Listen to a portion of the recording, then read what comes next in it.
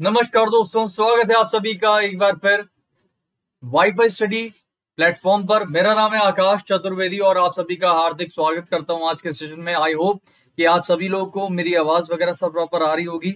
एक बार सभी लोग अगर सेशन को शेयर कर देंगे अपने दोस्तों के साथ में तो मज़ा ही आ जाएगा। सभी लोग एक बार जल्दी से सेशन को शेयर कर दीजिए दोस्तों के साथ।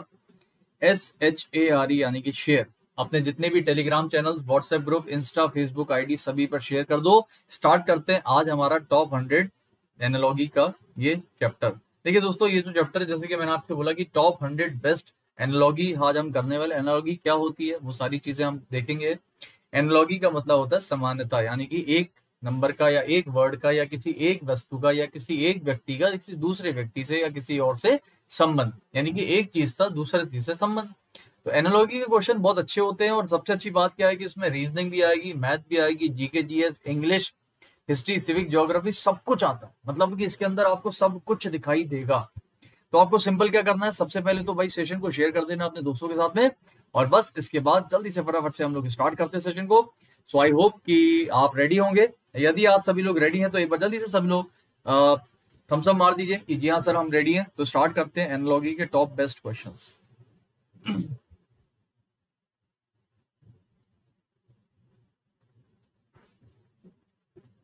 चलिए दोस्तों तो यहाँ पर सबसे पहले मैं आपको कुछ चीज़ें बता देता हूँ। डेली या मेरी अकेडमी पर जो क्लास चलती है दोस्तों, वो है ये पाँच से छह। रीजनिंग का दंगल, ये क्लास कभी मत पढ़ना बेस्ट क्लास है मॉक टेस्ट के लिए। हाई कंपटीशन है और सीखने को बहुत कुछ मिलेगा। और सबसे अच्छी बात कि आपके एग्ज़ाम में सबसे ज़्यादा क्वेश्चन इस क्लास से पूछे जाते हैं। ऐसा कौन कहता है? ऐसा स्टूडेंट्स ही बोल रहे हैं। आगे चलते हैं दोस्तों तो ये क्लास मेरी अन पर और यूट्यूब पर होती है, यानी कि साढ़े ग्यारह पर आप मेरे से मिल सकते हैं, चार बजे आप मेरे से मिल सकते हैं। बाकी इस चैनल पर डेली दस बजे तो होती है क्लास ये मेरी अन की प्रोफ़ाइल है, आकाश चतुर्वेदी के नाम से आप मुझे फॉलो कर सकते हैं एसएससी गोल के अंदर।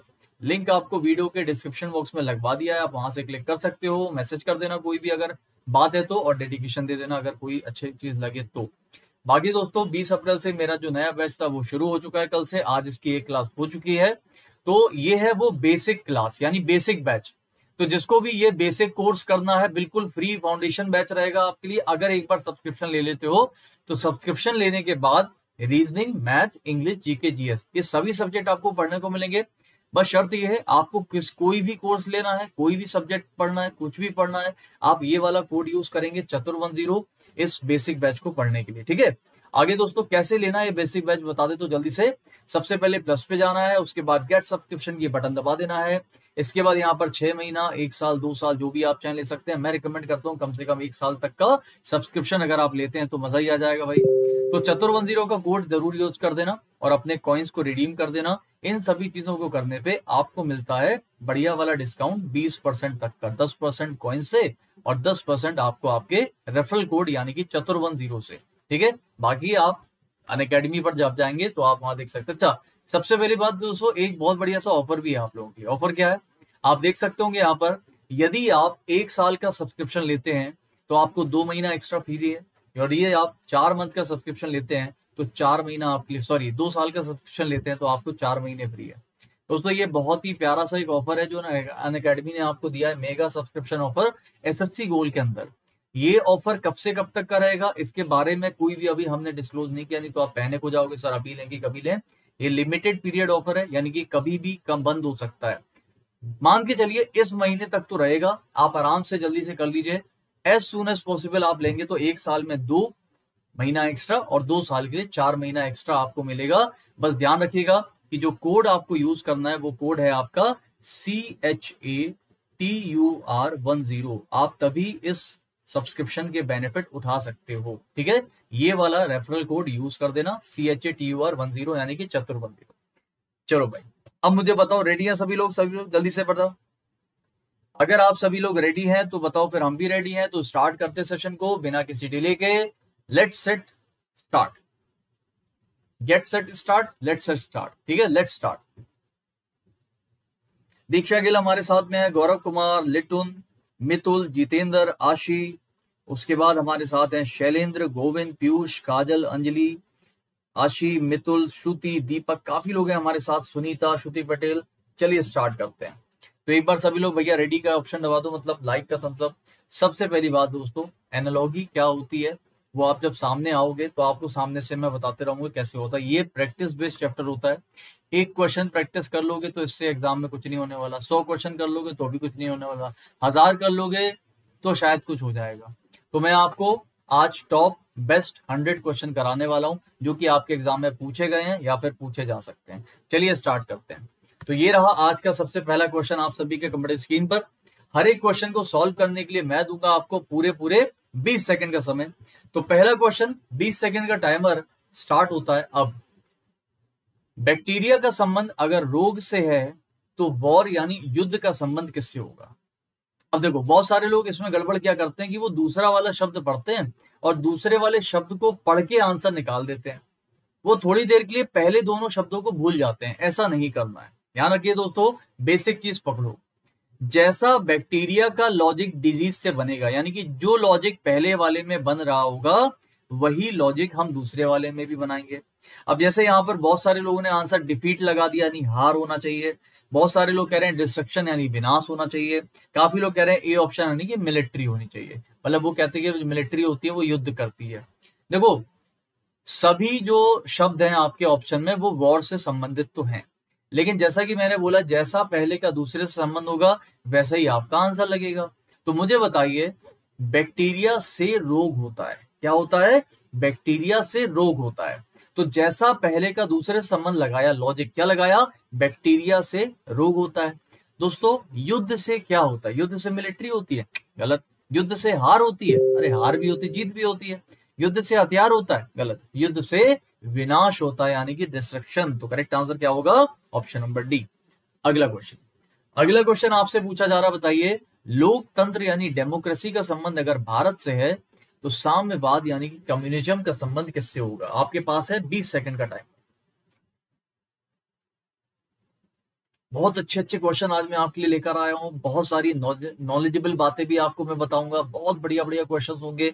आपको आज का सेशन सच में मज़ा आएगा। और सबसे अच्छी बात क्या है कि आज हम टॉप हंड्रेड क्वेश्चन एनोलॉगी के करने वाले हैं। ठीक है? कितने? टॉप हंड्रेड क्वेश्चन चलिए, फटाफट करेंगे भाई। टॉप हंड्रेड क्वेश्चन का पार्ट वन इसका आंसर क्या लगाओगे? तो यहाँ पर मैक्सिमम लोगों ने आंसर लगाया बी ऑप्शन कुछ लोगों ने बोला अमेरिका होना चाहिए। काफ़ी लोगों के मन में ये होगा अमेरिका होगा, जबकि ये गलत है।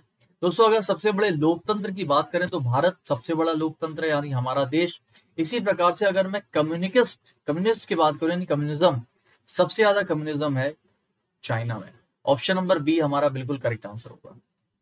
तो अगर आपको नहीं पता था तो प्लीज़ यहाँ पर देख लो सृष्टि त्रिपाठी जैसे कि आपने गलत कर दिया तनुजा आपने गलत कर दिया चाइना जिसने भी आंसर लगाया, बिल्कुल सही है, विशाल अरोरा आपने अमेरिका लगा दिया।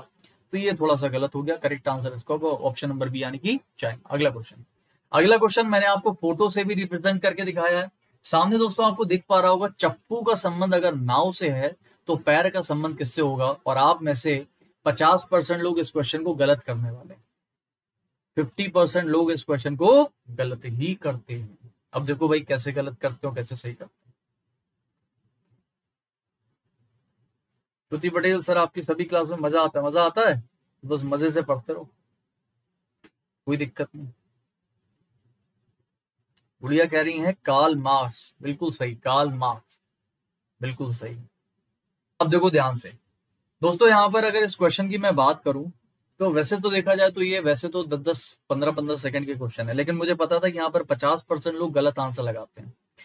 तो जैसा कि यहाँ पर देखें तो भाई मैक्सिमम लोगों का जो आंसर आ रहा है, वो आ रहा है ए ऑप्शन यानी कि दौड़ना। और कुछ लोगों का आंसर आ रहा है सी ऑप्शन यानी कि स्केटबोर्ड लेकिन आप देख सकते होंगे ए ऑप्शन ज़्यादातर लोगों का आ रहा है। मैं अगर दे, देखूँ तो भाई पचास से ज़्यादा लोगों का आ रहा है। जैसा कि मैंने आपसे बोला कि ऐसे क्वेश्चंस को मैक्सिमम लोग गलत ही करते हैं। अब मेरी बात समझना आप बार बार एक चीज़ को भूल जाते हो। एनालॉगी के चैप्टर में जैसा पहले का दूसरे से लॉजिक बनेगा वैसा ही तीसरे का चौथे से। हम लोग क्या करते हैं? दूसरा शब्द पढ़ते हैं और थोड़ी देर के लिए पहले सब भूल जाते हैं। और दूसरे शब्द को देखकर ही हम आंसर लगाते हैं। तो आपको सर पैरों से तो दौड़ा जाता है तो दौड़ना आंसर हो जाएगा। ऐसे तो फिर कूदा भी जाता है तो कूदना भी आंसर लगा दो। आप स्निकर्स का मतलब जूता होता है, जूता भी पैर में पहनते हैं, वो भी लगा दो। स्केट बोर्ड भी पैर से चलाते हैं, उसको लगा दो। लेकिन दोस्तों लॉजिक समझो। चप्पू का संबंध नाव से कैसे आ गया? दोस्तों, चप्पू से नाव को चलाया जाता है। क्या करा जाता है? चप्पू की मदद से नाव को चलाया जाता है। इसका मतलब देखो, पहले वाले की मदद से दूसरी वाली चीज़ चलाई जाती है। तो मुझे बताइए, पहला वाला कौन है? पैर तो पैर की मदद से किसको चलाया जाता है? पैर की मदद से स्केट बोर्ड को चलाया जाता है। तो करेक्ट आंसर क्या होना चाहिए? स्केट बोर्ड यानी कि ऑप्शन नंबर सी हमारा करेक्ट आंसर होगा। समझ आया? रागिनी कह रहे, चप्पू मीन्स क्या होता है? ये भगवान रागिनी, इसीलिए तो मैंने सामने फ़ोटो लगा के दी है कि कम से कम समझ में ना आए। पढ़ के तो कम से कम देख के तो समझ में आ जाए। अब तुम्हें ना पढ़ के समझ में आ रहा है, तुम्हें ना देख के समझ में आ रहा है तो क्या करें? तुम्हें नाव के ऊपर बैठा दे, तब तुम्हें समझ में आएगा कि चप्पू क्या होता है। चप्पू नहीं पता है। चप्पू का मतलब होता है ये जो दो, जो, ये जो डंडे लिया ना, ये चप्पू चला रहा है, ऐसे ऐसे ऐसे ऐसे। इसको बोलते हैं चप्पू। करेक्ट आंसर होगा इसका ऑप्शन नंबर सी यानी कि स्केट बोर्ड बोलो, बात समझ में आएगी, नहीं आएगी? कितने लोगों को भी बात समझ में आएगी, वो क्या करेंगे? सभी लोग वीडियो को एक बार कर देंगे लाइक और एक बार मुझे बोल देंगे यस कि समझ में आ रहा है। अगला क्वेश्चन अगला क्वेश्चन एक और बहुत प्यारा क्वेश्चन है। देखते हैं कितने लोग सही करते हैं। बीस सेकंड का समय है, आप पहले लगाइए आंसर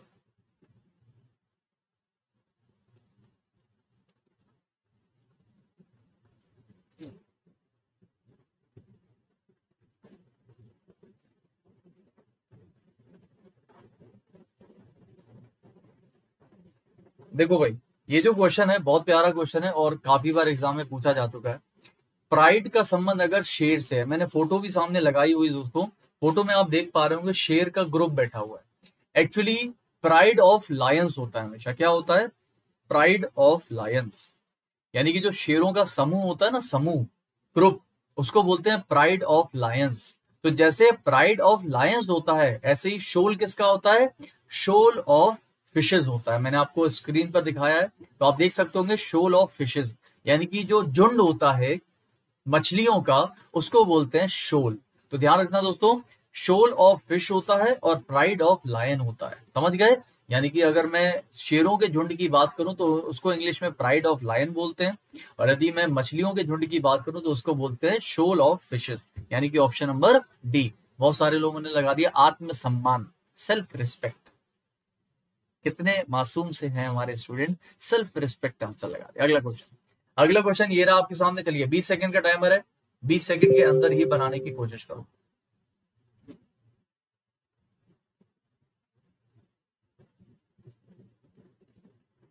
बिल्कुल आशीष, बिल्कुल सही बोला। Collective noun very good grammar में पढ़ा हुआ है भाई हम लोगों ने। चलो, बहुत प्यारा क्वेश्चन है। मैक्सिमम लोग इसको गलत करते हैं क्योंकि लॉजिक ही नहीं आता सर अब देखो यहाँ पर, ध्यान से, सभी लोग। दोस्तों ई e की वैल्यू होती है पाँच और एल की वैल्यू होती है बारह और आई की वैल्यू होती है नाइन अब बारह और पाँच से नौ बनाना है। कैसे बना सकते हो? तो देखिए यहाँ पर, आप कहोगे, सर, बारह में अगर मैं पाँच को जोड़ता हूँ तो मुझे मिलेगा सत्रह। अब सत्रह में ऐसा क्या करूँ कि मुझे नौ मिल जाए? आप कहोगे, सर, सत्रह में ऐसा क्या कर सकते हैं? तो देखना ध्यान से दोस्तों। यदि मैं छब्बीस में से सत्रह को माइनस करता हूँ तो मुझे कितना मिलेगा? नौ। टोटल अल्फ़ाबेट कितने होते हैं? सत्रह? सॉरी छब्बीस? छब्बीस में सत्रह को माइनस के कितना मिला? नौ। अब एक बात ध्यान से सुनना। आपको पहले वाले को निकालना है और दूसरा वाला आपको दिया है। यानी कि यहाँ पर है क्वेश्चन मार्क और यहाँ पर लिखा है बी और बी की वैल्यू कितनी होती है? दो।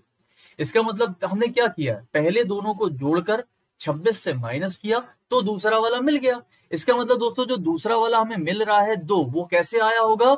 वो 26 में से हमने जब x को माइनस किया होगा तभी ना हमें दो मिला होगा। तो मुझे बताइए, x की वैल्यू कितनी हो जाएगी? 26 माइनस दो यानी कि 24 इसका मतलब यहाँ पर जो भी आएगा क्वेश्चन मार्क की जगह पर, उसकी वैल्यू क्या होगी? 24 यहाँ पर जो भी आएगा, वो दो अल्फ़ाबेट होंगे। ऐसे कोई ऑप्शन में दो अल्फ़ाबेट जिनको जोड़ने पर 24 आ रहा है आपको बिल्कुल है सर। दो ऐसे अल्फ़ाबेट है जिनको जोड़ने पर 24 आ रहा है, वो है आपका ऑप्शन नंबर बी यानी कि डीटी दोस्तों, अगर हम डी और टी को जोड़ेंगे तो डी की वैल्यू चार होती है। और 20 होती है टी की वैल्यू दोनों को जोड़ोगे, आंसर आएगा 24 यानी कि डी टी हमारा करेक्ट आंसर है। समझ गए? अगला प्रश्न।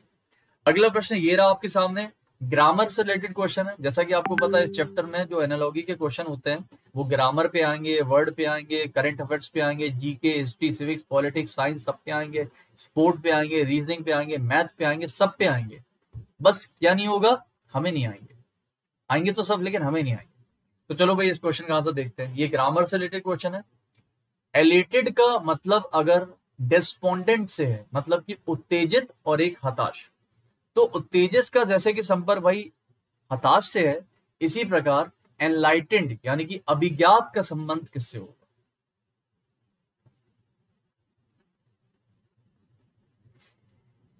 देखो, सबसे पहली बात तो उत्तेजित और हताश, ये दोनों क्या है? एक दूसरे के अपोजिट अपोजिट को हम इंग्लिश में और भी क्या बोलते हैं? एंटोनिम बोलते हैं। क्या बोलते हैं? एंटोनिम यानी कि दोस्तों, ये दोनों एंटोनिम एक सोनोनिम होता है, एक एंटोनिम होता है, यानी कि पर्यायवाची और विलोम शब्द। ये दोनों एक दूसरे के विलोम है। तो मुझे बताइए एनलाइटेंड का ऑपोजिट यानी विपरीत क्या होगा? एनलाइटेंड का मतलब होता है दोस्तों, बहुत ज़्यादा ज्ञान, बहुत ज़्यादा ज्ञान। और इसका जो विपरीत होता है, वो हमेशा होता है इग्नोरेंट इग्नोरेंट का मतलब होता है अज्ञान, या कह सकते हो, अनजान। तो द करेक्ट आंसर होगा ऑप्शन नंबर बी यानी कि अनजान या फिर अज्ञान जो भी आप कह सकते हो। ऑप्शन नंबर बी हमारा करेक्ट आंसर होगा। अगला क्वेश्चन अगला क्वेश्चन आपसे कहा जा रहा है कि बताइए, रामानुजन का संबंध अगर गणित से है तो सुश्रुत्रा का संबंध किससे होगा? सुसूत्र भी कहते हैं इनको। सुसूत्र आंसर बताइए इसका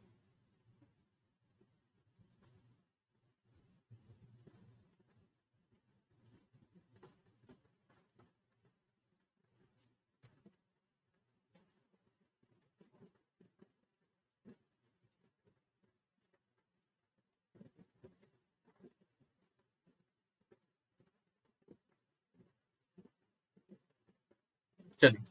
तो यहाँ पर अगर हम देखें बहुत ध्यान से तो इस क्वेश्चन का आंसर क्या लगाओगे? बिल्कुल सही ऑप्शन नंबर सी यानी फिजिशियन तो दोस्तों, ये जो चिकित्सक थे हमारे, रामानुजन एक मैथमेटिशियन थे और ये हमारे ऑप्शन नंबर सी बिल्कुल सही आंसर नेक्स्ट क्वेश्चन अगला क्वेश्चन ये रहा आपके सामने। चलिए फटाफट से आंसर बताना। सभी लोगों को इस क्वेश्चन का आंसर क्या होगा? सभी लोग, जल्दी से बताइए इस क्वेश्चन का आंसर क्या होगा? जल्दी से। इंडिया का संबंध अगर हिंदी से है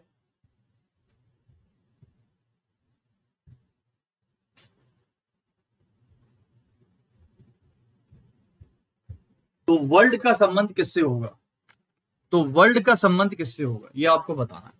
इंडिया का संबंध अगर हिंदी से है तो वर्ल्ड का संबंध किससे होगा? 20 सेकंड का टाइमर है, बताइए।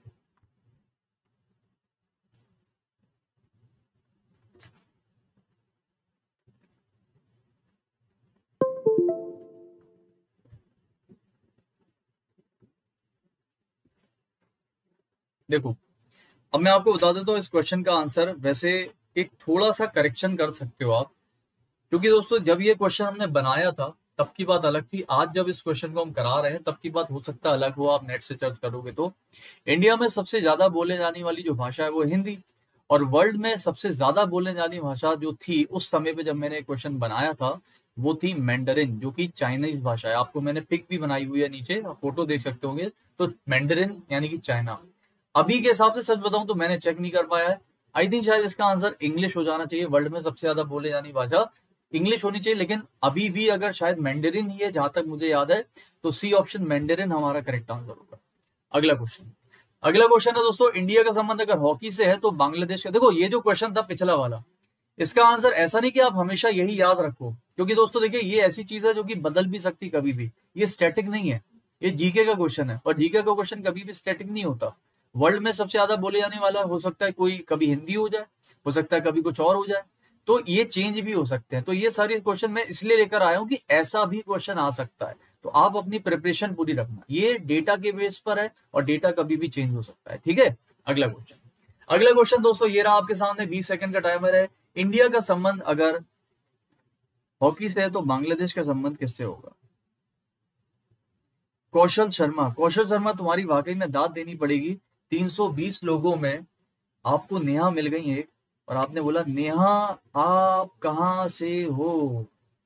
मतलब तुम्हें इतना, इसको कॉन्फिडेंस इतना था कि भाई नेहा चार, तीन सौ, चार सौ लोगों में इसका मैसेज भी पढ़ लेगी और वो बता भी देगी कहाँ से हो, और जैसी वो बताएगी, यहाँ से अच्छा यहाँ से, बस मैं तुरंत आ रहा हूँ। ये तुरंत पूछ जाएँगे उसके घर पे।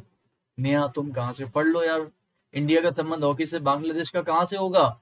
कबड्डी से। भाई, किससे होगा? कबड्डी से। अगला क्वेश्चन बताओ, वो नेहा कर रहा है वो। अगला क्वेश्चन बताओ, बीस सेकंड का टाइमर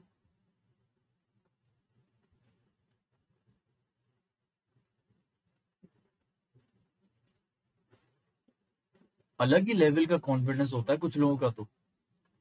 अरे, सोचो आप तीन चार सौ लोगों की भीड़ खड़ी हो, आपको कोई एक दूर से कोई दिखी, बस आपने तुरंत। तुम कहाँ से हो? हेलो भले वो आपको ना देख रही देखो भाई, सत्ताईस से अस्सी कैसे बना सकते हैं? तो देखो कैसे। दो का स्क्वायर और यदि मैं सात का स्क्वायर करता हूँ तो दोस्तों दो का स्क्वायर हो जाएगा चार और सात का स्क्वायर कितना हो जाएगा? उनचास। दोनों को जोड़ने पर कितना आ गया? तिरपन फिफ्टी थ्री दोस्तों फिफ्टी थ्री में कितना और बचा हुआ है कि अस्सी मिल जाए? आप कहोगे, सर, सत्ताईस ही बचा हुआ है। तो तिरपन में अगर मैं सत्ताईस जोड़ता हूँ तो मुझे कितना मिल जाएगा? अस्सी मिल जाएगा।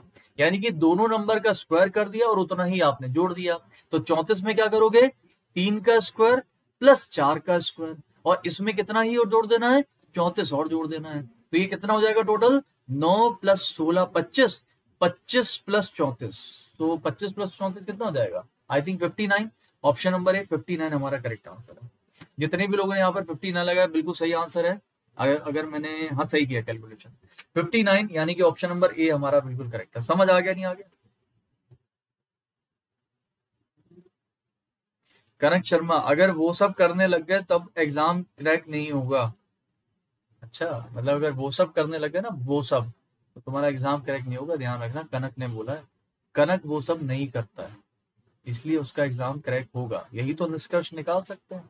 रीजनिंग लगा दिया पद में चलो बताओ, सुल्तान का संबंध अगर दिल्ली से तो निज़ाम का संबंध किससे होगा? मज़े से पढ़ो, टेंशन मत लो, सारी चीज़ें क्लियर होंगी एक एक चैप्टर क्लियर कराऊँगा आपको। इसी समय पर डेली रात में दस बजे।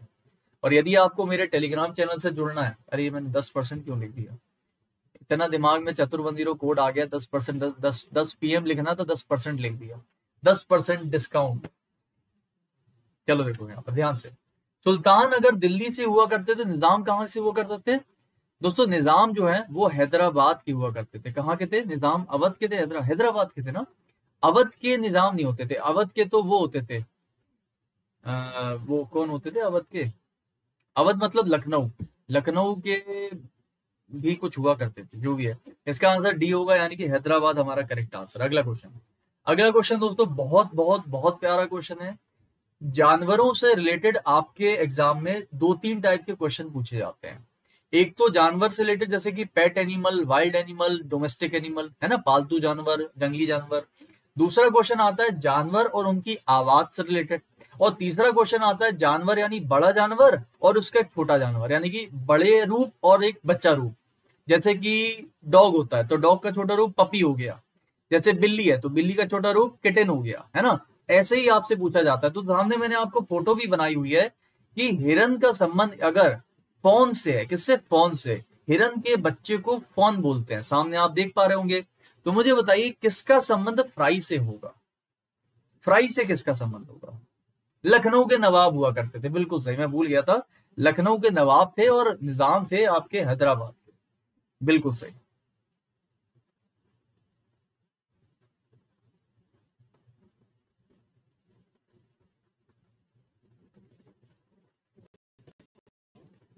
चलिए तो यहाँ पर अगर हम देखें तो इस क्वेश्चन का करेक्ट आंसर क्या होगा? ऑप्शन नंबर ए यानी कि फ़िश याद रखना दोस्तों, जो मछली होती है ना उसके छोटे बच्चे को हमेशा फ्राई बोला जाता है। तो ध्यान रखना, मछली के छोटे बच्चे को फ्राई बोलते हैं, उसी प्रकार से हिरन के छोटे बच्चे को फ़ोन बोलते हैं इंग्लिश में। याद रखिएगा इस बात को। अगला क्वेश्चन अगला क्वेश्चन ये रहा आपके सामने और ये रहा आपका 20 सेकंड का टाइमर सभी लोग बताएँगे, फटाफट से आंसर क्या होगा। भेड़ का संबंध अगर मेमने से है तो हिरन का संबंध किससे होगा? अभी अभी मैंने आपको बताया कि इन क्वेश्चंस को कैसे किया जाता है। आप सामने फ़ोटो देख पा रहे होंगे कि हिरन सॉरी भेड़ का संबंध मेमने से, यानी कि भेड़ का जो छोटा बच्चा होता है, उसको हम लैम्ब बोलते हैं। क्या बोलते हैं? लैम्ब इसी प्रकार से हिरन का छोटा बच्चा क्या होगा? अभी तो बताया पिछली स्लाइड में क्या होगा? ऑप्शन नंबर बी, यानी कि फ़ोन। तो फ़ोन, यानी कि option number B is the correct answer. समझ आ गया, नहीं आ गया? Option number B is the correct answer. आगे चले। अगला क्वेश्चन। अगला क्वेश्चन ये रहा आपके सामने। नेक्स्ट क्वेश्चन का आंसर बताएँगे सभी लोग फटाफट से। तो आपको बताना है कि अगर विटामिन ए का संबंध रेटिनोल से है तो विटामिन ई e का संबंध किससे होगा? 20 सेकंड का टाइमर है सभी लोग बताइए फटाफट से आंसर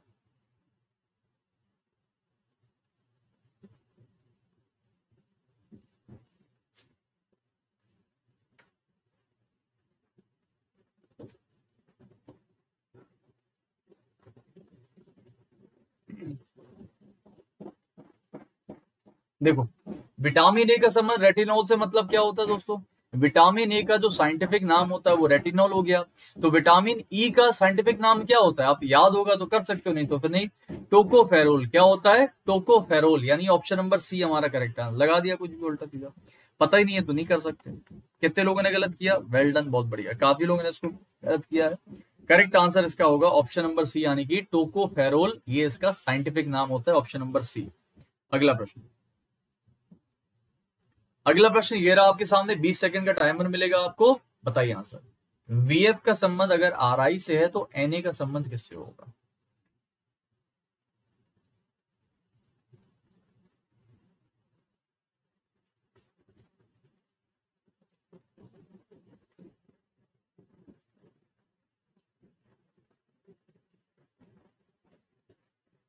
एक बार सभी लोग वीडियो को लाइक कर देंगे, अगर आपने अभी तक नहीं किया वीडियो को लाइक और अगर समझ आ रहा है तो वीडियो को लाइक कर दो। देखो भाई, बहुत प्यारा क्वेश्चन है, कैसे करना है? देखो, v की वैल्यू 22 होती है, f की वैल्यू 6 होती है। R की वैल्यू 18 हो गई और i की वैल्यू 9 हो गई। यदि मैं इसमें देखूँ तो भाई, हमने माइनस का चार किया और अगर मैं इसमें देखूँ तो इसमें मैंने प्लस का तीन किया है। तो यहाँ भी वही करते हैं भाई, यहाँ पर लिखा है फोर्टीन यहाँ पर लिखा है एक। तो चौदह में अगर मैं चार को माइनस करूँगा तो दस आना चाहिए। दस का मतलब क्या होता है? जे जे वाले हमारे पास दो ऑप्शन है। और अगर मैं एक में तीन जोड़ता हूँ तो कितना आएगा? चार और चार का मतलब जी। तो भैया जेडी हमारा करेक्ट आंसर होगा ऑप्शन नंबर बी तो जितने भी लोगों ने ऑप्शन नंबर बी यानी कि जेडी आंसर लगाया, वो बिल्कुल करेक्ट आंसर कुछ लोगों ने इसका आंसर ए लगा दिया जो कि गलत है। करेक्ट आंसर होगा JD option number A B is the correct answer अगला क्वेश्चन अगला क्वेश्चन दोस्तों, एक और जनरल अवेयरनेस का क्वेश्चन है। वर्ल्ड एनिमल वेलफेयर डे कब मनाया जाता है? चार अक्टूबर। तो बताइए वर्ल्ड ओशन डे कब मनाया जाता है? आप अगर सच बताएँ अगर थोड़ा सा स्क्रीन पे देखोगे तो हिंट भी आपको सामने स्क्रीन पर दी हुई है। बता दो जल्दी से क्या आंसर होगा। वर्ल्ड एनिमल वेलफेयर डे चार अक्टूबर तो वर्ल्ड ओशन डे ओशन मतलब महासागर। तो महासागर दिवस कब होता है? विश्व का। सामने हिंट दी हुई है आपको स्क्रीन पे। दिख रहा होगा छोटा छोटा सा देखो।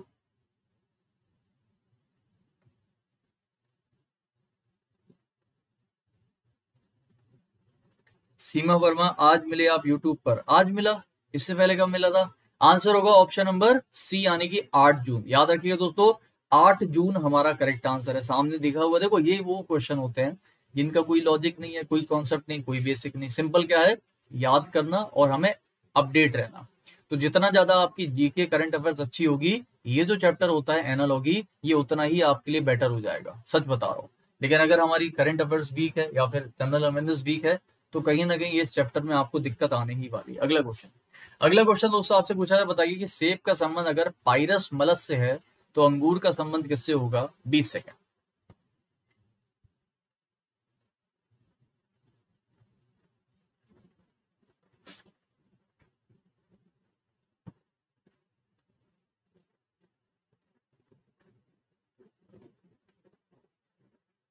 आशुतोष, एक काम करिएगा, आप ऊपर लिखा हुआ है ना, ग्रीन कलर से लिख कर आ रहा है रीजनिंग बाय आकाश सर ये मेरा ऑफिशियल टेलीग्राम चैनल है। आप इस पर ज्वाइन हो जाओ, वहाँ पर मुझे एक मैसेज कर दो सर कैसे लेना है सब्सक्रिप्शन आपका कोर्स कैसे लेना है? तो मैं आपको वहाँ पर मैसेज करके आपको पूरा एक्सप्लेन कर दूँगा कि कैसे आप कोर्स ले सकते हो, कैसे जुड़ सकते हो। दोस्तों, सेब का जो साइंटिफिक नाम होता है, वो पाइरस मलस होता है। और अगर मैं बोलूँ, अंगूर का क्या होता है? देखे जरा आप लोगों के आंसर क्या लग रहे हैं? A option very good C option very good कुछ आंसर बी भी आ रहे हैं वेरी गुड करेक्ट आंसर होगा ऑप्शन नंबर बी यानी कि विटिस विनीफेरा याद रखिएगा Vitis vinifera is the correct answer अंगूर का साइंटिफिक नाम. अगला क्वेश्चन अगला क्वेश्चन आपसे बोला जा रहा है कि बताइए, जापान का संबंध अगर येन से है तो वियतनाम का संबंध किससे होगा? हिंट सामने स्क्रीन पर है. अगर देख सकते हो तो देख के बताओ आंसर क्या होगा. Option number B Vitis vinifera पिछले वाले क्वेश्चन का answer. Okay thank you Ashutosh. दोस्तों, कल से मेरा बेसिक बैच शुरू हो चुका है। पूरे के पूरे 26 चैप्टर बेसिक से पढ़ाने वाला हूँ रीजनिंग के। एसएससी के सभी एग्ज़ाम यानी C H S L M T S G D steno JE और CGL plus RRB group D railway का और यूपीएसआई इन तीनों को कंबाइंड करके मैंने टोटल रीजनिंग के 26 चैप्टर निकाले।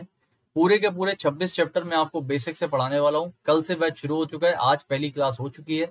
अभी भी आप मेरी बेसिक बैच ज्वाइन कर सकते हैं। नीचे दिया हुआ कोड चतुर्वन ज़ीरो को यूज़ करके अन अकेडमी पर सब्सक्रिप्शन ले लीजिए। एक साल या छह महीना, जो भी आप चाहें। अगर आपको बेसिक से पढ़ना है, पूरे complete reasoning math English GK GS तो आप पढ़ सकते हो। देखो भाई, यहाँ पर दोस्तों, जापान की जो करेंसी होती है, यानी मुद्रा, वो येन होती है।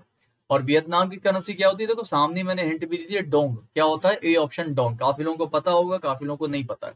करेक्ट आंसर डोंग होगा। अगला क्वेश्चन अगला क्वेश्चन बहुत ही प्यारा क्वेश्चन है। 74 से अगर हम 46 बनाएँगे तो 81 से क्या बना सकते हैं? 74 से 46 कैसे बना सकते हैं?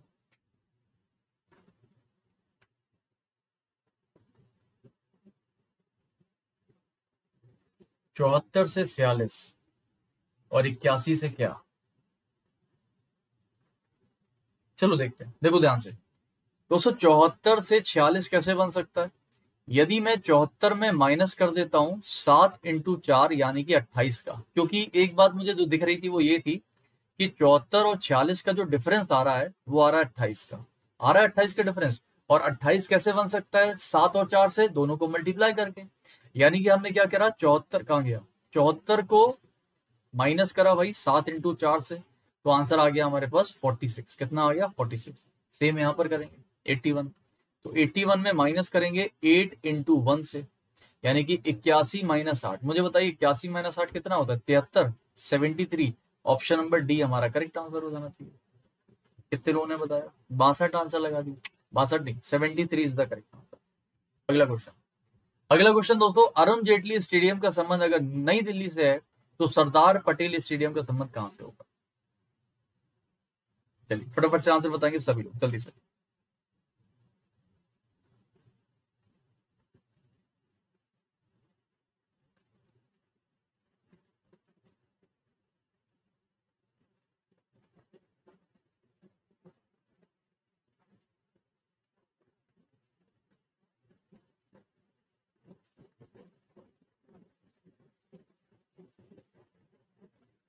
ठीक है तो यहाँ पर भाई मैक्सिमम लोगों ने आंसर दे दिया है कि आंसर होगा अहमदाबाद, यानी कि सी ऑप्शन बिल्कुल सही आंसर अगला क्वेश्चन अगला क्वेश्चन आपसे कहा जा रहा है कि बताइए, हवा महल का संबंध अगर जयपुर से है तो चार मिनट का संबंध किससे होगा?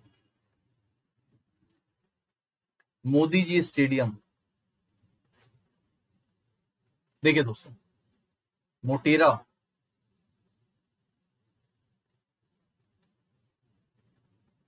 हवा महल जयपुर में है? चार मिरर कहाँ पर है? ये सब देखो, क्या है आपकी जनरल नॉलेज आप कहोगे, सर, ये क्वेश्चन आते हैं एग्ज़ाम में. ऐसे ही तो क्वेश्चन आते हैं कि हवा महल का समझ अब वो क्यों पूछते हैं आपसे रीजनिंग में ऐसा क्वेश्चन क्योंकि वो आपको एक सब्जेक्ट भी पढ़ाते हैं और देते हैं एग्ज़ाम में जीएस जनरल नॉलेज या जनरल स्टडीज़ और जनरल में सब कुछ आ जाता है। तो वो मान कर चलते हैं कि क्योंकि आपने जीएस पढ़ा हुआ है, इसलिए आप बता सकते हो कि चार मीनार का संबंध किससे होगा।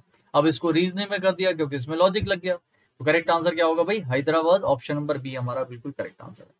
ले अजमेर लगा रहे अजमेर में आंसर, अजमेर कहाँ से आ गया भैया? बोले, चार मीनार अजमेर में आज का सबसे प्यारा क्वेश्चन मुझे बहुत अच्छा लगता है। अगर आप लोगों की फिजिक्स अच्छी होगी तो आप बहुत अच्छे से आंसर दे दोगे, वरना आप गलत भी कर सकते हो। देखते कितने लोग सही करते हैं, कितने लोग गलत करते हैं। फिजिक्स का क्वेश्चन है।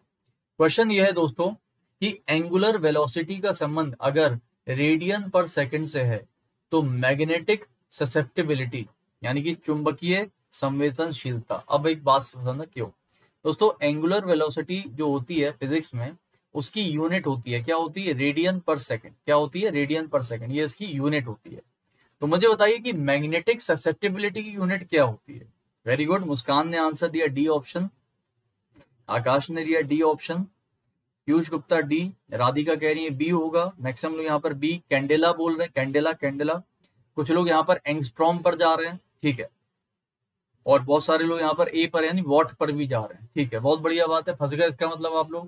दोस्तों, मैग्नेटिक ससेप्टेबिलिटी एक यूनिट लेस क्वांटिटी होती है। क्या होती है? Unitless quantity. Unit less quantity का मतलब इसकी कोई यूनिट नहीं होती है। ऑप्शन नंबर डी हमारा करेक्ट आंसर होगा। ध्यान रखना इसके बाद मैग्नेटिक ससेप्टिबिलिटी की कोई भी यूनिट नहीं होती है यूनिट लेस क्वांटिटी होगी। ऑप्शन नंबर डी, हमारा करेक्ट आंसर है। अगला क्वेश्चन। अगला क्वेश्चन आपसे कहा जा रहा है बताइए, अगर कर्म युद्ध ग्रंथ ग्रंथ अमित शाह से संबंधित है, अब इसका लॉजिक निकालो, कैसे संबंधित है? तो एंड गेम का संबंध किससे होगा? ठीक है एंड गेम का संबंध किससे होगा? सामने आपको सच बताया तो हिंट भी है, सामने स्क्रीन पर आप हिंट देखकर भी आंसर दे सकते हैं। बट चीटिंग ना करो, ऐसे ही बता दो तो अच्छी बात है। आदर्श कह रहे हैं, हम कॉमर्स वाले हैं। कॉमर्स वाले हैं तो मतलब आपको फिर एग्ज़ाम में नहीं बैठना चाहिए, क्योंकि एसएससी में तो जीएस आती है साइंस भी आती है, फिर कैसे करोगे बेटा? कॉमर्स वाले हो तो फिर एसएससी का फॉर्म तो भरे ही होगे। देखो, कर्म युद्ध का संबंध अगर अमित शाह से क्या है? अमित शाह इसके राइटर हैं। क्या है? इसके राइटर तो भैया राइटर हो गए अमित शाह किसके कर्म युद्ध ग्रंथ। इसी प्रकार से दोस्तों एंड गेम के जो राइटर होंगे, वो कौन होंगे? अब बहुत सारे लोग सोच रहे हो, सर, वो एंड गेम वो वाला एवेंजर्स वाला। है ना? एंड गेम में जो एवेंजर्स एंड गेम था, उसमें जो विलन था, उसका नाम क्या था? थानोस ये थानोस वाला नहीं है। दोस्तों, सामने लिखा हुआ है, आप देख सकते होंगे, हुसैन जैदी। क्या नाम लिखा हुआ है? हुसैन जैदी। याद रखना, हुसैन जैदी इसके राइटर है। इस किताब के राइटर है हुसैन जैदी एंड गेम के।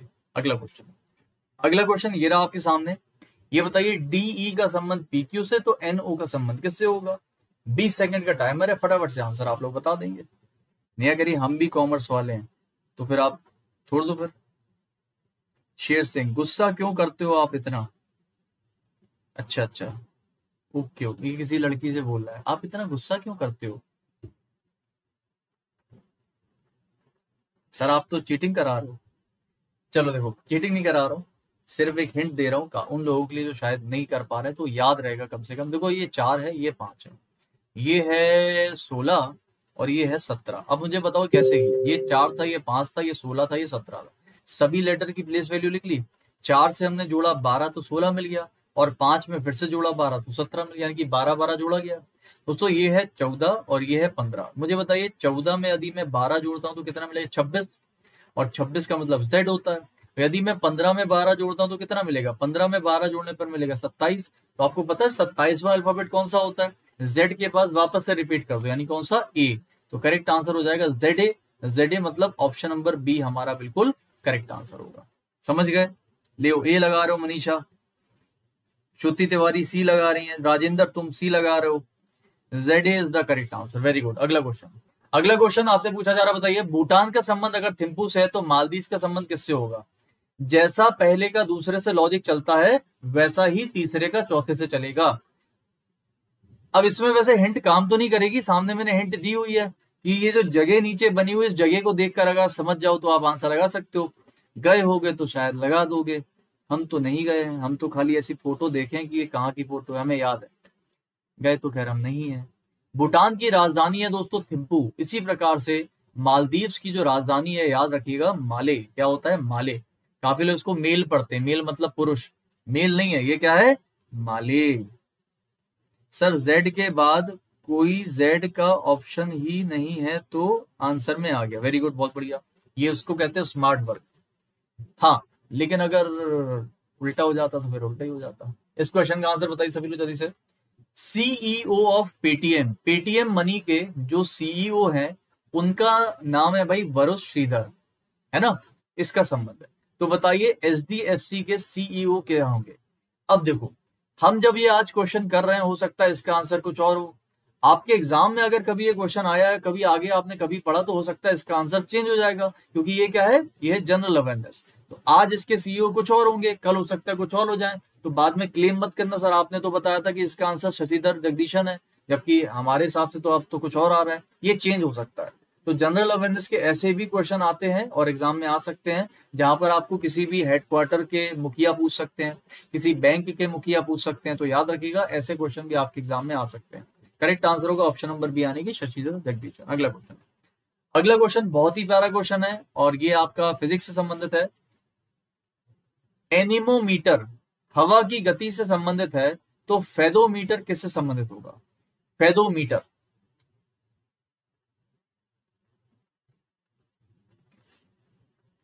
मैं फिर से आपको बता दूँ कि हम लोग टॉप हंड्रेड क्वेश्चन कर रहे हैं एनालॉगी के, यानी कि मैं आपको टॉप हंड्रेड क्वेश्चन और आज है टॉप हंड्रेड क्वेश्चन का पार्ट वन और इसी का टॉप हंड्रेड क्वेश्चन का पार्ट टू कल भी चलेगा, ध्यान रखिएगा सभी लोग, ठीक है?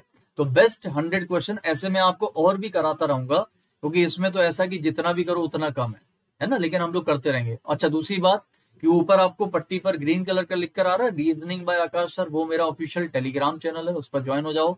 मैंने अभी तक जितने भी बेसिक टॉपिक इस क्लास में पढ़ाए हुए हैं, जैसे कि डाइस पूरा बेसिक से पढ़ा दिया है फिगर काउंटिंग पूरा बेसिक से पढ़ा दिया है कैलेंडर पूरा बेसिक से पढ़ा है। कैलेंडर अभी खत्म किया है आई थिंक चार क्लासेस में। पाँच से छह घंटे लग गए। डाइस में लगभग लगभग तीन घंटे और फिगर काउंटिंग में लगभग लगभग तीन से चार घंटे। ये पूरा का पूरा जो मैंने पढ़ाया है, इन सभी का लिंक आपको मेरे ऑफिशियल टेलीग्राम चैनल पर मिल जाएगा। आप वहाँ पर आकर सारे चैप्टर बेसिक से पढ़ सकते हैं, ठीक है? बाकी वैसे तो वीडियो के डिस्क्रिप्शन बॉक्स में भी मेरी प्लेलिस्ट का लिंक लगा हुआ है। लिंक पर क्लिक करोगे तो मेरी प्लेलिस्ट मिल जाएगी पूरी आपको, जहाँ पर आपको सभी वीडियो मिल जाएँगे। चलो बताओ मुझे, एनोमोमीटर का संबंध क्या है? भैया, ये इंस्ट्रूमेंट होता है, जो हवा की गति को नापता है, उसको बोलते हैं एनोमोमीटर। फेदोमीटर किसको नापता है? नहीं पता है तो सुन लीजिए ओशियन डेप्थ, यानी कि महासागर की गहराई को। सागर की गहराई को जो इंस्ट्रूमेंट होता है नापने के लिए उसको बोलते हैं फेदोमीटर अगला क्वेश्चन अगला क्वेश्चन ये रहा आपके सामने। झारखंड का संबंध, अगर रांची से तो मेरुदन का संबंध कितना होगा? सिंपल क्वेश्चन है। लड्डू क्वेश्चन है ये आज का, ठीक है? जल्दी से इस लड्डू क्वेश्चन का आंसर बताओ। क्या होगा आंसर देखना, इसको भी कुछ लोग गलत करते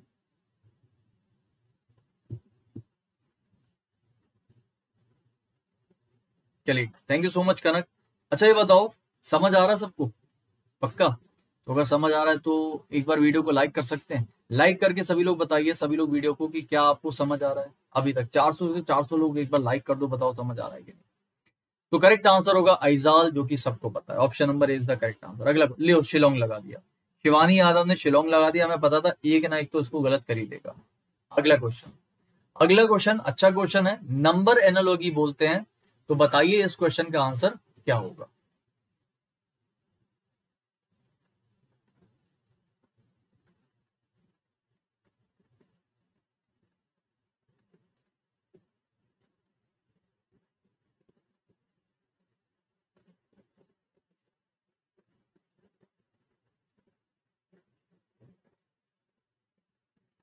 ठीक है। तो यहाँ पर अगर हम देखें तो भाई आंसर आ रहे हैं। वेरी गुड वेरी गुड बहुत बढ़िया। ए आंसर सी आंसर देखो, दोस्तों हमने क्या किया है? तीन, दो, एक में जोड़ दिया है, इसी नंबर को पलट कर, यानी कि एक, दो, तीन। जोड़ने पर कितना मिला? चार चार चार। तो यहाँ पर भी हम क्या करेंगे? एक एक, तीन में नंबर जोड़ना है, इसी को पलट के, यानी कि तीन, एक एक। तो आंसर क्या आएगा? चार, दो, चार। ऑप्शन नंबर बी यानी कि फोर टू फोर हमारा करेक्ट आंसर होगा। काफ़ी लोगों ने इसका आंसर एक लगा दिया, जो कि गलत है। Option number B is the correct answer ठीक है जितेंद्र? अगला क्वेश्चन अगला क्वेश्चन ये रहा आपके सामने।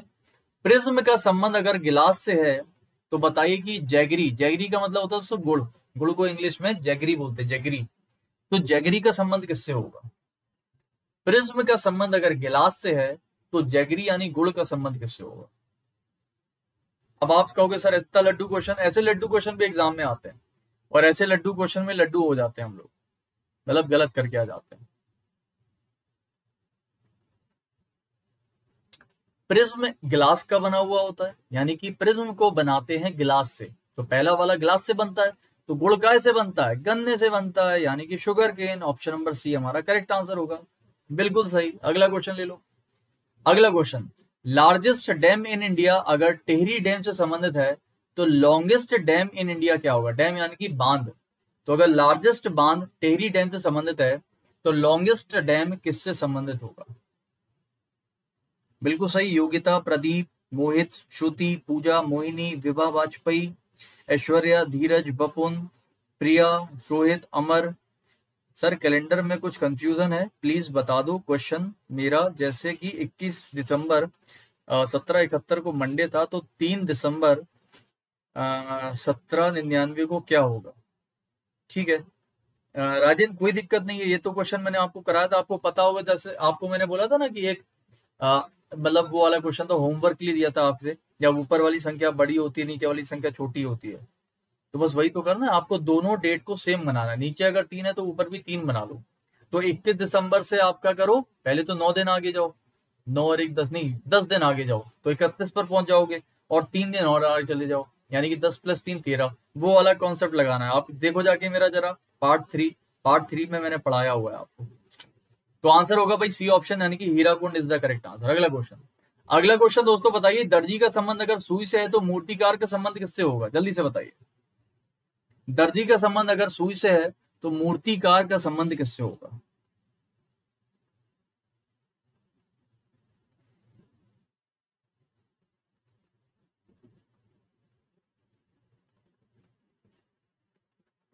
अक्षय गौतम, बिल्कुल हो रहा है आपका भी।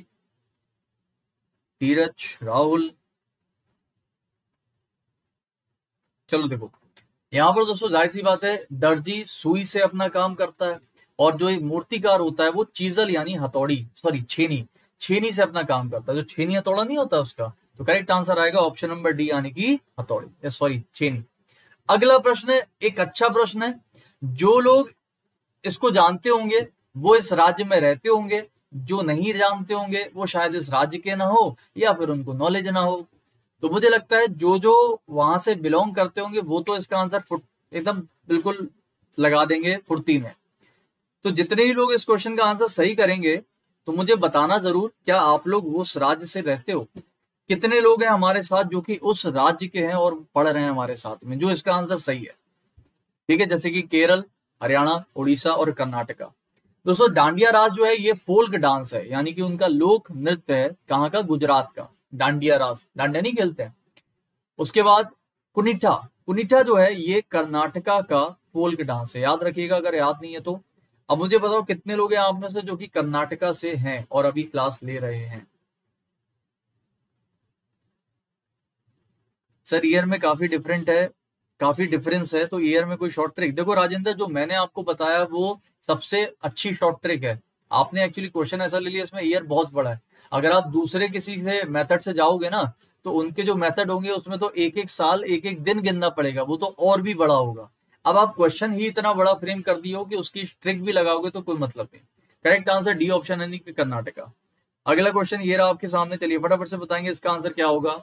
डीपी का संबंध ई e का संबंध किससे होगा?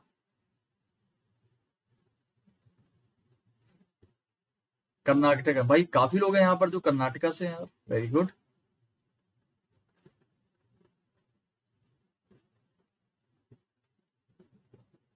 चलो, देखो यहाँ पर, ध्यान से। दोस्तों डी की वैल्यू चार होती है पी की वैल्यू सोलह होती है। आपको सर चार का स्क्वायर कर दिया तो हमें कितना मिल गया? सोलह। तो ई e की वैल्यू पाँच होती है, पाँच का स्क्वायर कर दिया, कितना मिलेगा? पच्चीस, खत्म कहानी। ऑप्शन नंबर सी हमारा करेक्ट ऐसे क्वेश्चन भी एग्ज़ाम में आ जाते हैं। बिल्कुल सिंपल चुन्नू वाले क्वेश्चन अगला क्वेश्चन अगला क्वेश्चन आपसे कह रहा बताइए कि पेडोलॉजी का संबंध अगर मिट्टी से है तो सेलोनोग्राफी का संबंध किससे होगा?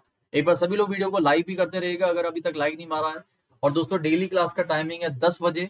ऊपर जो हरी पट्टी चल रही है, वहाँ पर आप देख सकते हो कि मेरा नाम लिखा हुआ है रीजनिंग बाय आकाश सर ये मेरे ऑफिशियल टेलीग्राम चैनल का नाम है। यहाँ पर आपको क्लास की पीडीएफ प्लस आपको कोई भी क्वेश्चन पूछना है, आप वहाँ पर पूछ सकते हो। मैं आपको रिप्लाई करता हूँ हैंडल में ही करता हूँ। दूसरा कि हर एक क्लास का लिंक आपको क्लास के पहले मिल जाता है। यानी कि आपको यहाँ वहाँ भटकने की ज़रूरत नहीं है। जितनी भी मेरी क्लासेस है, वो सारी क्लासेस आप कर सकते हो। पेडोलॉजी जो होती है दोस्तों, वो स्टडी ऑफ़ मिट्टी। यानी कि मिट्टी की पढ़ाई को बोलते हैं पेडोलॉजी सेलेनोग्राफी जो है, वो स्टडी ऑफ़ क्या होती है? स्टडी ऑफ़ मून यानी कि चंद्रमा। याद रखिएगा स्टडी ऑफ़ मून यानी कि चंद्रमा होता है इसका correct answer option number B जिसको नहीं पता, वो रट लो अभी। अगला क्वेश्चन अगला क्वेश्चन है भाई, उड़िया का संबंध। अगर उड़ीसा से है तो बोडो का संबंध किससे होगा? बीस सेकंड। या तुम लोग वीडियो को लाइक नहीं करो कसम से? मतलब हम समझ रहे हैं कि पढ़ाई में इतना व्यस्त हो, इस क्वेश्चन के बाद सबके सब एक बार वीडियो को लाइक कर दो। भाई 400 के 400 लोग एक बार वीडियो को जरा लाइक करके बताओ जल्दी से, फटाफट सभी लोग। चलो, पहले लाइक करो, फिर इसका आंसर बताओ। क्या होगा? उड़िया, उड़ीसा संबंधित है, बोडो, आसाम से। मुझे बताइए क्या है? ये गाना है, नाचना है, भाषा है कि क्या है? ये आपको बताना। आंसर तो इसका आसान है, बिल्कुल सही। लेकिन मुझे बताओ, ये कोई भाषा है? ये कोई गाना है? ये कोई नाच है? डांस है? क्या है ये? आपको बताना ठीक है? मोनिका, ओके, गुड नाइट, जानू। जानू भी पढ़ते हैं, बताओ। मतलब इतनी बड़ी क्लास में चैट चल रही है जानू से। व्हाट्सएप पे कर लू? जानू, गुड नाइट। अगला क्वेश्चन अगला क्वेश्चन ये रहा आपके सामने लैंग्वेज है वेरी गुड बहुत बढ़िया। बिल्कुल सही बोला। डांस नहीं है, भाषा है, भाषा भाषा। दोस्तों, बाघ का संबंध अगर भारत से यानी कि टाइगर का संबंध अगर भारत से है तो स्पेन का संबंध किससे होगा? बीस सेकंड का टाइमर है, लगाइए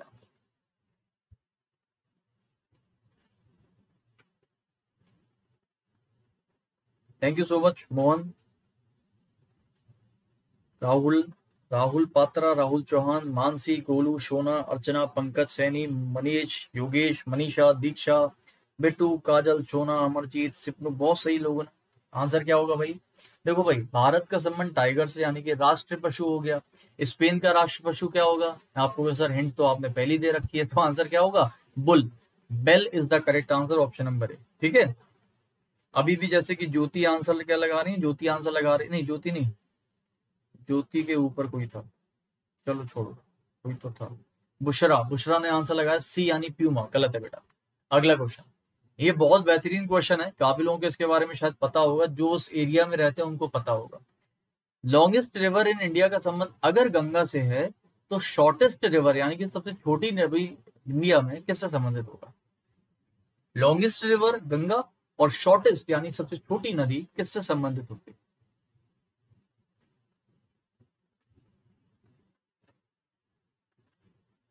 अब देखो यहाँ पर ध्यान से। देखो, गंगा की जो लंबाई है, वो जहाँ तक मुझे याद है, पच्चीस हज़ार सॉरी पच्चीस सौ कुछ किलोमीटर के समथिंग है, ढाई हज़ार, है ना? समथिंग कुछ है। छोटी नदी की अगर बात करूँ, दोस्तों, आपने शायद इसका नाम सुना होगा।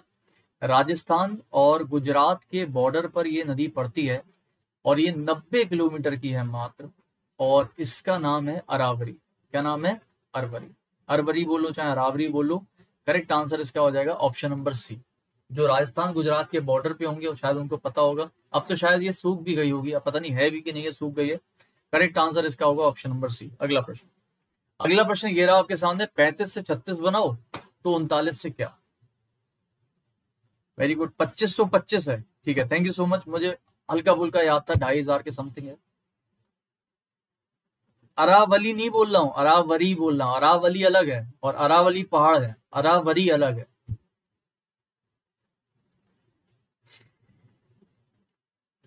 फिर तुम लोग अरावली बोला, अरावली अलग है।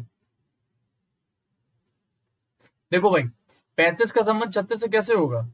यदि मैं पैंतीस में से तीन और पाँच को आपस में मल्टीप्लाई करता हूँ तो मुझे मिलेगा पंद्रह।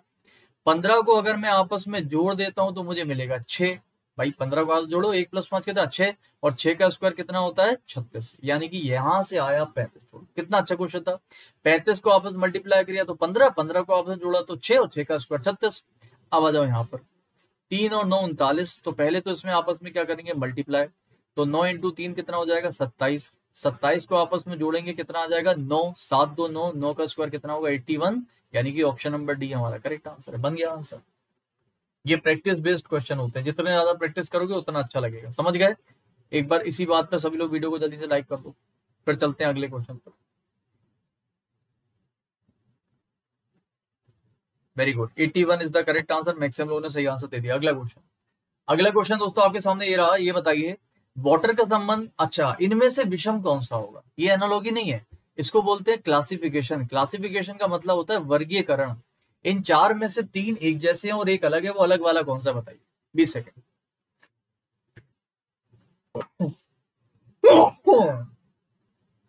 Sorry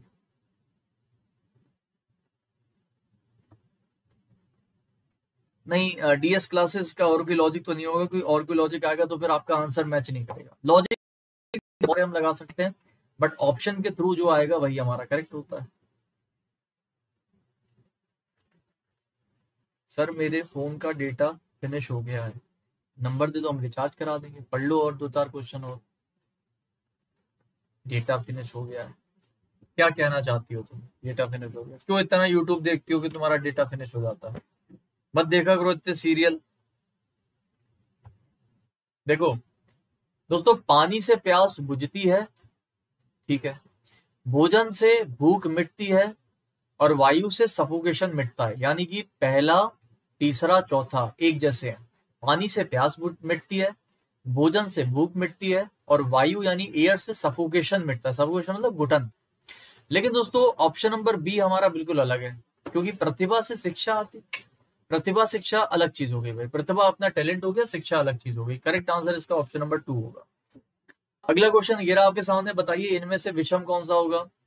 Beautician parlour chemist medicine law आप में से 20 परसेंट लोग भी इस क्वेश्चन का आंसर सही कर देना तो ये चैलेंज है आपके, सच में। इसमें आप फंसोगे ही फंसोगे, पक्का फंसोगे। ऐसा क्वेश्चन बना दिया है कि आप फंसोगे। चलो बताओ।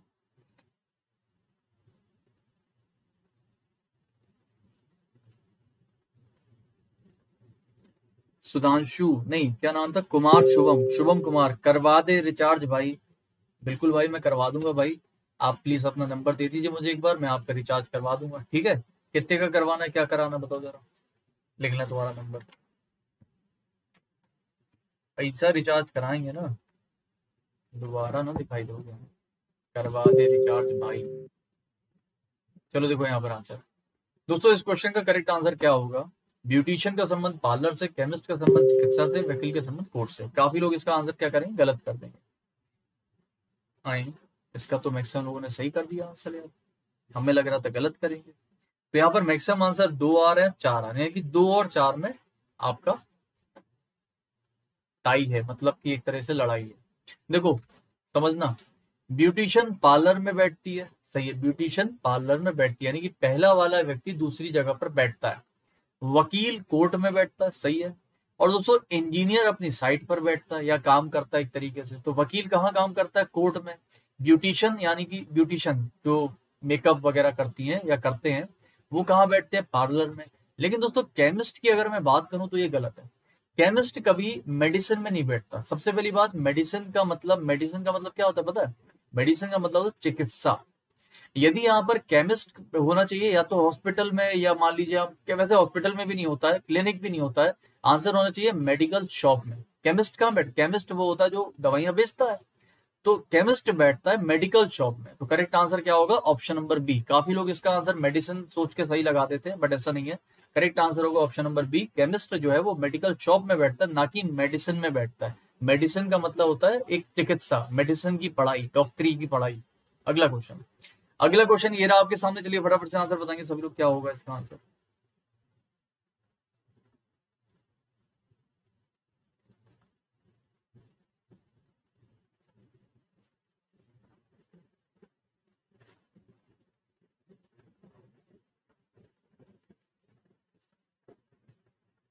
चलो देखो, ये भी अच्छा क्वेश्चन है, पाँच में से एक, चार एक जैसे एक अलग है। देखो देखें आँखों से, यानी कि हम देखते हैं आँखों से, सुनते हैं कानों से, ठीक है?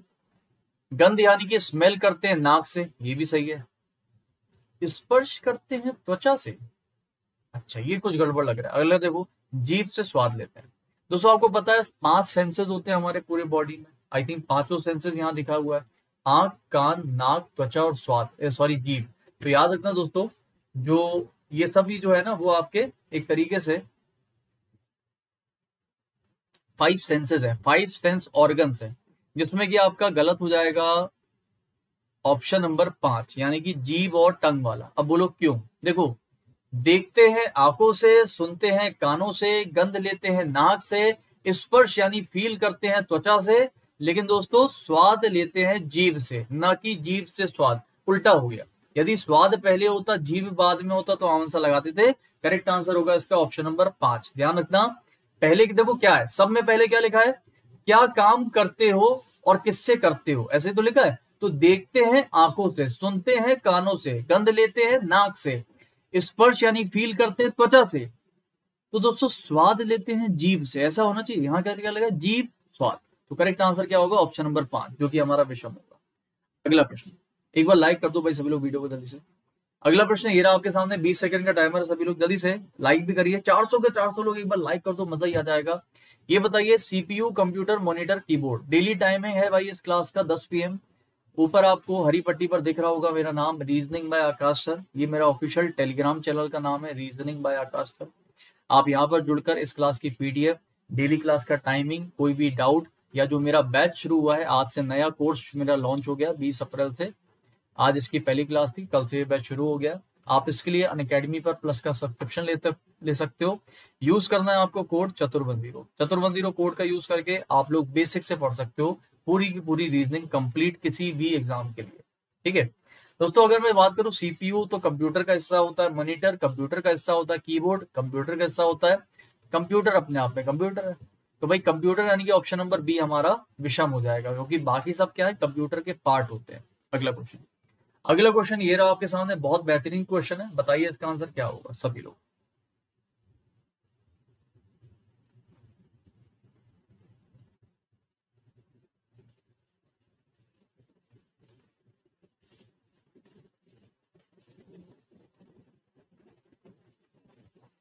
देखो अच्छा क्वेश्चन है, इक्यासी से दो सौ तैतालीस। अब आपको सर ऐसा हो सकता है, ये नौ का स्क्वायर होगा और ये सात का क्यूब होगा? मैंने कहा हाँ, हो सकता है।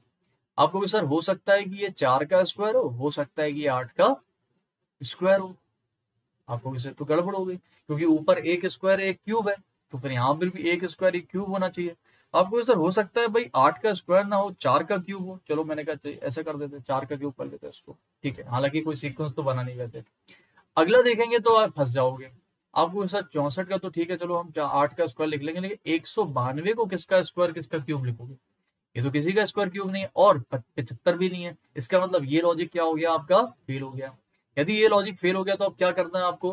दोस्तों, इक्यासी को यदि मैं तीन से मल्टीप्लाई करता हूँ तो मुझे मिलता है टू फोर थ्री समझ गए? दूसरा छोड़ दो अभी। यदि मैं चौसठ का मल्टीप्लाई तीन से करता हूँ तो मुझे मिलता है वन नाइन टू चौथे पर आ जाओ। यदि मैं पच्चीस का मल्टीप्लाई तीन में करता हूँ तो मुझे मिलता है पिछहत्तर। लेकिन ऑप्शन नंबर जो बी है बी में दिया है सोलह, और सोलह दिया होता है अड़तालीस, जबकि यहाँ पर लिखा है चौसठ। यानी कि यही हमारा विषम हो जाएगा ऑप्शन नंबर बी समझ गए? अगला क्वेश्चन अगला क्वेश्चन ये रहा आपके सामने। इनमें से विषम कौन सा यानी कि इन चार में से तीन एक जैसे एक अलग है। चलिए देखते हैं। बीस सेकंड का टाइमर है, फटाफट से बताइए। आइस क्यूब, ठंडा, लोहा, कठोर, पर्स, पैसा संगमरबर चिकना। चलिए देखते हैं कितने रूप से कर सकते हैं। केमिस्ट्री अगर आपने पढ़ी होगी तो केमिस्ट्री में सभी चीज़ें आपने पढ़ी होगी कि ये जो भी नाम लिखे हुए हैं, इनकी प्रॉपर्टी होती है। केमिस्ट्री में होती है ना प्रॉपर्टी तो ये वैसे ही क्वेश्चन है। चलो, भैया एक बार 400 के बाद लाइक पहुँचा दो यार। मज़ा आ जाएगा। समझ नहीं रहे तुम लोग बात को। देखो आइस क्यूब कोल्ड सही बात है। आइस क्यूब की प्रॉपर्टी क्या होती है वो ठंडा होता है? सही है। लोहे की प्रॉपर्टी क्या होती है वो कठोर होता है, यानी हार्ड होता है? सही है। संगमरमर की प्रॉपर्टी क्या होती है? वो स्मूथ होता है, चिकना, ये भी सही है। लेकिन दोस्तों, ये गलत है। दोस्तों, पर्स की प्रॉपर्टी नहीं होती पैसा कि। पर्स पर्स कैसा होता है? पैसे जैसा होता है। सभी में क्या लिखी हुई है? प्रॉपर्टी लिखी हुई है। तो पहला जो मटेरियल है, उसकी प्रॉपर्टी दूसरे में है। लेकिन दोस्तों, पर्स जो मटेरियल है, उसकी प्रॉपर्टी नहीं है, उसका फ़ंक्शन है। पर्स में पैसा रखते हो, वो उसका फ़ंक्शन है। तो करेक्ट आंसर इसका क्या हो जाएगा? ऑप्शन नंबर सी जो कि हमारा विषम हो जाएगा। समझ में आ रहा है? बहुत सारे लोग इसको सही भी करते हैं, बहुत सारे लोग इसमें गलत भी कर रहे हैं, जैसा कि हम देख पा रहे हैं। अगला क्वेश्चन अगला क्वेश्चन बताइए, इनमें से विषम कौन सा होगा? बीस सेकेंड। समझ आ रहा है कि नहीं आ रहा है? चलो यार 400 के बाहर पहुँचा दिया आपने। वेरी गुड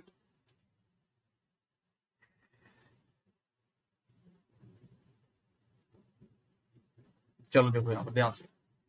क्लास, इसमें से विषम कौन सा है? यानी कि इन चार में से पाँच, इस चार में से तीन एक जैसे एक अलग। समझो पहले। क्लास का संबंध कैसे? स्टूडेंट। क्लास क्लास बनती है स्टूडेंट से मिलकर। सही है।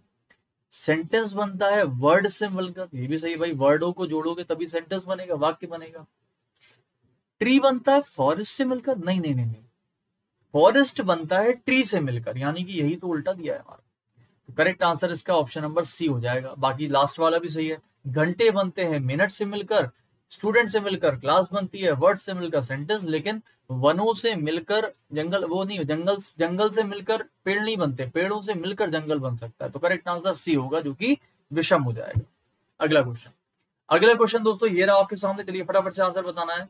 इस क्वेश्चन का करेक्ट आंसर दक्षिण का संबंध अगर उत्तर पश्चिम से है तो पश्चिम का संबंध किससे होगा? रीजनिंग का लॉजिक लगेगा इसमें प्योर रीजनिंग का लॉजिक अगर आपको दिशाओं का ज्ञान नहीं है तो भैया मैंने अभी सुबह साढ़े दस की क्लास में पूरा का पूरा दिशा और दूरी बेसिक से पढ़ाया है, तीन से चार घंटे पूरा। आप पढ़ सकते हो, पूरा बेसिक डायरेक्शन कंप्लीट किया है, परछाई के क्वेश्चन शेडो के क्वेश्चन सब कुछ। बाकी जो मेरा नया बैच शुरू हो रहा है, शुरू हो चुका है आज से, बिल्कुल बेसिक बैच इस कोड का यूज़ करके आप अन अकेडमी पर ले सकते हैं, उस बैच को ज्वाइन कर सकते हैं। चतुर्वन ज़ीरो कोड उधर पे भी मैं आपको पूरा बेसिक से पढ़ाने वाला हूँ। देखो, सबसे पहली बात तो ये बताओ, ऊपर अगर नॉर्थ होता है तो नीचे साउथ होता है तो फिर ये ईस्ट होगा और ये वेस्ट होगा। ये होगा आपका नॉर्थ ईस्ट ये होगा आपका साउथ ईस्ट ये हो गया आपका साउथ वेस्ट और ये हो गया आपका नॉर्थ वेस्ट हो गया? तो मुझे एक बात बताओ सभी लोग, यहाँ पर बोला जा रहा है कि साउथ का संबंध नॉर्थ वेस्ट कैसे? साउथ है नीचे नॉर्थ वेस्ट है यहाँ पर। संबंध क्या है इसमें? नब्बे और पैंतालीस, यानी 135 यानी कि अगर मैं 135 डिग्री घड़ी की दिशा में आगे जाता हूँ, दक्षिण से तो मुझे क्या मिलेगा? उत्तर पश्चिम। तो मुझे बताइए, यदि मैं वेस्ट से उत्तर सॉरी वेस्ट से 135 डिग्री आगे जाऊँगा तो क्या मिलेगा?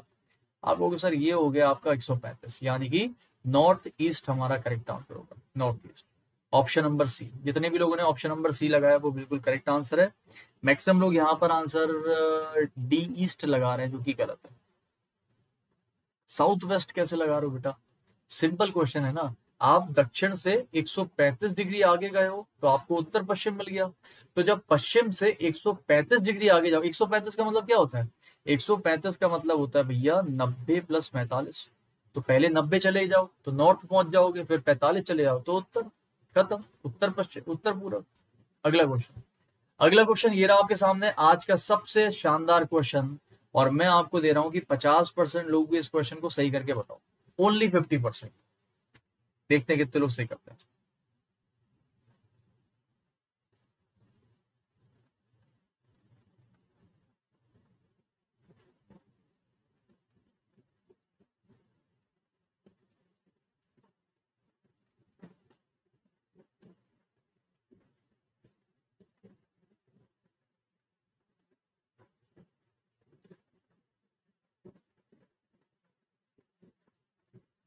चलो देखो दोस्तों, ये बहुत प्यारा क्वेश्चन है, अगर आप सही कर दो तो मज़ा ही आ जाएगा। देखो ध्यान से सभी लोग।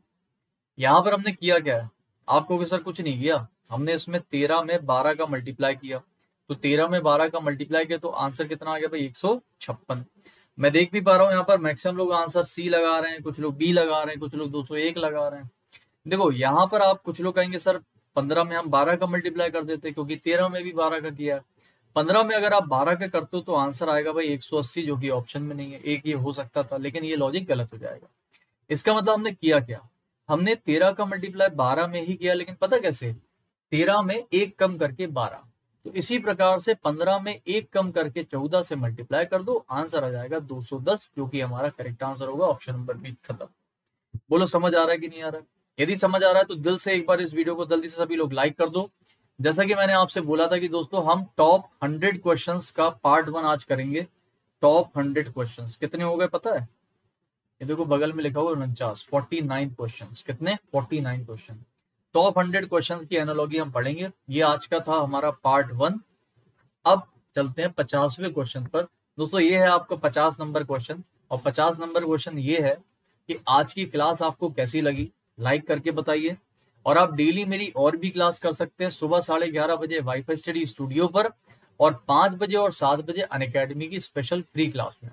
इस फ्री क्लास को करने के लिए आपको सिर्फ़ क्या करना है? चतुर्वन ज़ीरो कोड का यूज़ करके आपको ये सेशन देखना है। ये सबसे इंपॉर्टेंट क्लास है, मैं आपको बता दू। दोस्तों, इसका पार्ट टू हम लोग कल पढ़ेंगे सेम इसी टाइम यानी कि दस बजे। तो बाकी के बच्चे पचास क्वेश्चन एनोलॉगी कल मैं आपको कराने वाला ठीक है? आई होप आप सभी लोग कल भी आएँगे, सभी लोग।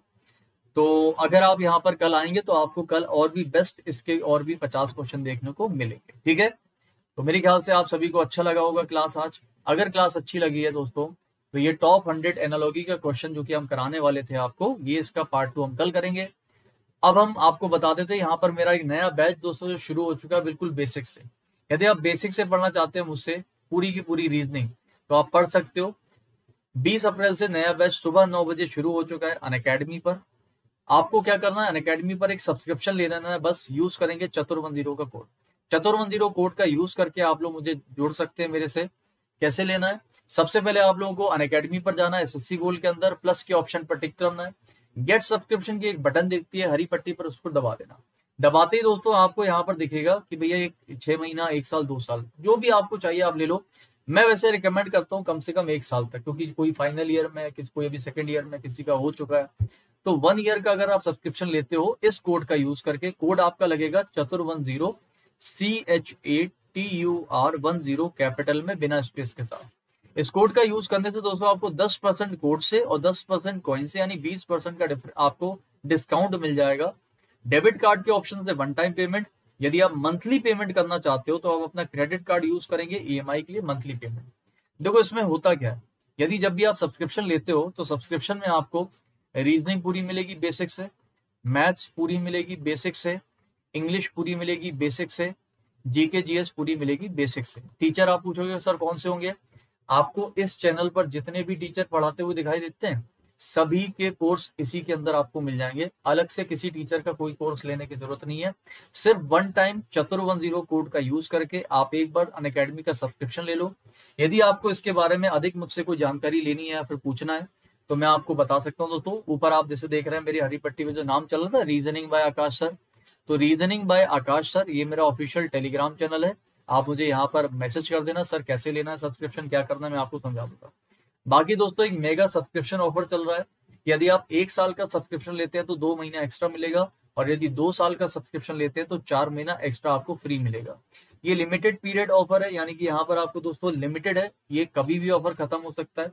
अभी है, आप टेंशन मत लो, अगले दो तीन दिन रहेगा।